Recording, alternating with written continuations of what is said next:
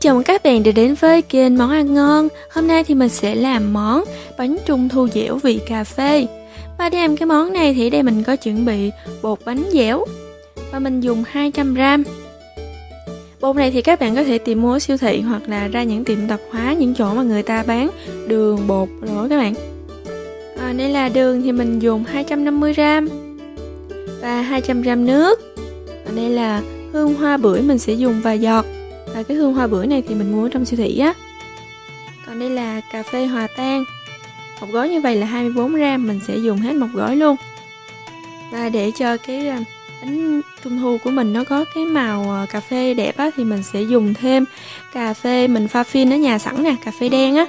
Mình dùng khoảng 10 ml và một ít muối. Ở đây thì mình sẽ làm nhân đậu xanh và đậu xanh thì mình dùng 150g, đổ nước vô ngâm khoảng 2 đến 3 tiếng để cho nó nở mềm ra đó. Khi mà mình nấu thì nó sẽ mau chín hơn. Rồi đầu tiên thì mình sẽ đi nấu phần nước đường để trộn bánh trung thu nha. Và cái phần đường này thì mình chia ra nha các bạn. Một chén bên đây là 200g để mình làm phần nước đường. Còn cái chén bên đây là 50g mình dùng để làm cái phần nhân bánh. Mình cho 200g đường vào trong một cái nồi. Rồi cho vào 200g nước mình cho vào một ít muối nha ít thôi nha các bạn. Chừa là một ít để chút nữa mình làm cái phần nhân. Sau đó mình sẽ bắt lên bếp nấu cho cái phần đường này tan ra là được. Mình chỉ cần nấu cho cái phần đường này nó tan ra đợi cho nước nó sôi lên cái thì mình sẽ tắt bếp. À, nước sôi lên rồi bây giờ thì mình tắt bếp thôi. Rồi mình để cho cái phần nước đường này thật là nguội nha. Và trong thời gian để cho cái phần nước đường nó nguội thì mình sẽ nấu đậu xanh đậu xanh á, thì mình vo cho sạch rồi cho vào trong cái nồi. Đổ vào khoảng nửa lít nước. Bật bếp lên. Mình nấu cho đến khi nào phần đậu xanh này chín mềm là được. Và thời gian mình nấu khoảng 20 phút. Phần đậu mình nấu chín mềm như vậy là được rồi bây giờ mình sẽ tắt bếp. Đợi cho đậu hơi nguội nguội rồi mình xay cho thật là nhuyễn nha. Phần đậu xanh đã nguội rồi bây giờ thì mình sẽ cho vào 50g đường. Và cho vào một ít muối. Rồi xay cho thật là nhuyễn. Đậu xay xong thì mình cho vào trong cái chảo để mình xên cho nó khô lại.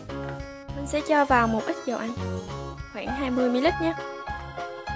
Lúc xên thì mình sẽ khuấy đều tay như vậy. Mình xên với lửa nhỏ thôi.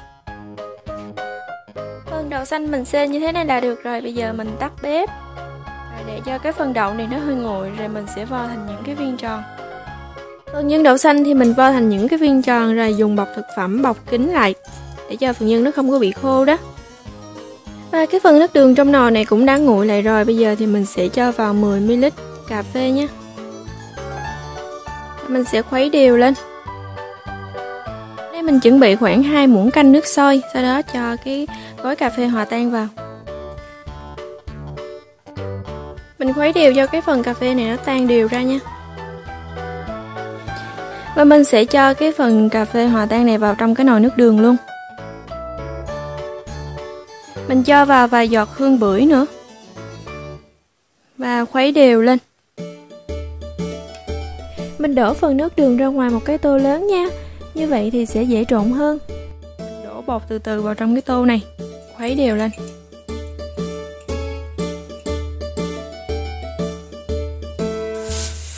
Các bạn nên thoa dầu vào trong bao tay để khi mình nhồi bột thì nó sẽ không có dính vào trong tay nè và lúc này thì các bạn thấy cái phần bột của mình nó có cái màu cà phê sữa nè.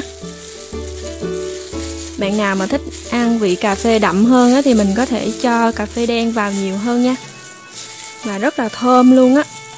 Rồi phần bột thì mình nhồi như vậy là được rồi. Đây các bạn thấy phần bột rất là dẻo luôn á. Mình sẽ dùng bọc thực phẩm bọc kín phần bột này lại. Mình để yên cho bột nghỉ khoảng 10 đến 15 phút mình à, bọc vật, bọc thực phẩm lại như vậy để cho phần bột của mình nó không có bị khô. Ở đây mình có chuẩn bị một cái khuôn bánh trung thu nữa các bạn. Và đây là cái khuôn lò xo. Còn đây là cái khuôn bình thường. Cái khuôn này thì nó dễ mua hơn là cái khuôn lò xo. Và khuôn này thì các bạn có thể tìm mua ở những cái chỗ mà người ta bán đồ mũ, đồ nhựa á. Một cái như vậy chỉ có mười mấy ngàn thôi. Mà mình sẽ dùng cái khuôn lò xo này để mình in nha. Bột thì nãy giờ mình để nó nghỉ được à, 15 phút rồi đấy giờ mình sẽ chia bột ra nha. Mình lăn cho nó dài dài để mình cắt bột cho dễ.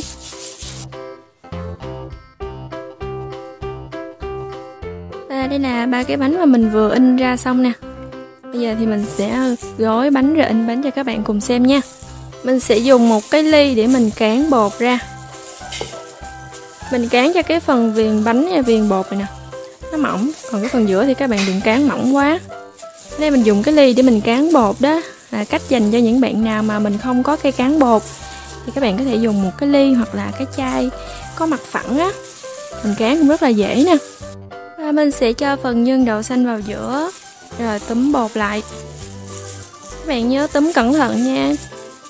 Đừng để cho cái phần à, cái phần không khí nó bị trống ở trong đây. Mình áp sát vào tấm lại rồi vo thành một cái viên tròn.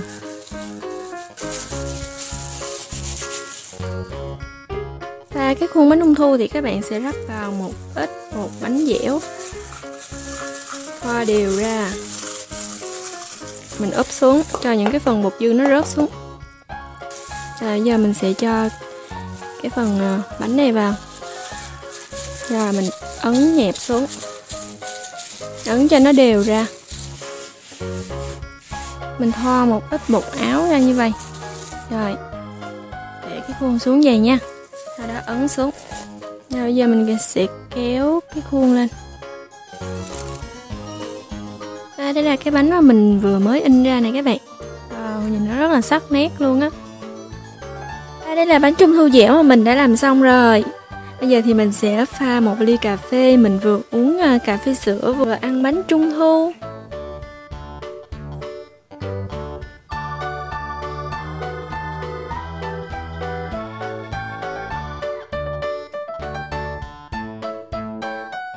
Mình vừa sẽ ra một cái bánh cho các bạn cùng xem bên trong nó như thế nào nè. Lớp vỏ bánh bên ngoài thì có màu ờ, cà phê sữa hơi nâu nâu. Còn phần nhân đậu xanh thì màu vàng nè. À, bánh này thì các bạn để 1 đến 2 ngày thì ăn rất là ngon luôn á và nó rất là dẻo nữa. Bánh thì mình có thể à, ăn được trong vòng 5 ngày đó. Rồi bây giờ thì mình sẽ à, à uống nước cà phê trước đã.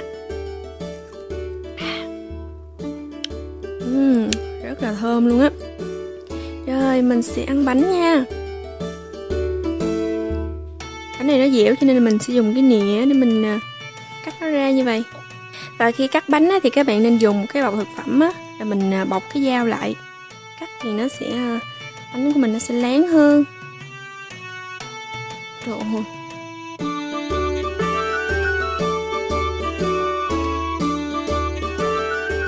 Bánh này mình ăn cực kỳ dẻo luôn á các bạn.